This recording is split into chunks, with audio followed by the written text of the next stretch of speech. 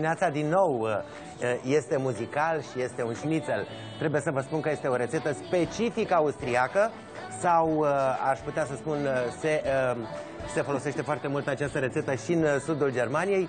Um, interesant este sosul șnițelul, îl știe toată lumea, este un șnițel în stil vienez, obligatoriu făină, ouă, pesmet, de preferință din carne de vițel, pentru că așa este original, cu decorul specific lămâie o o bobiță de, uh, o, un mugure de uh, caperă, uh, bineînțeles înfășurat într-un uh, filet de anșoa. Uh, acesta, este, uh, acesta este decorul clasic Sosul însă este foarte interesant. De ce? Se numește un sos muzical. Parcă îți vine să cânți așa în momentul când îl savurezi alături de șnițel. Am nevoie pentru sos de...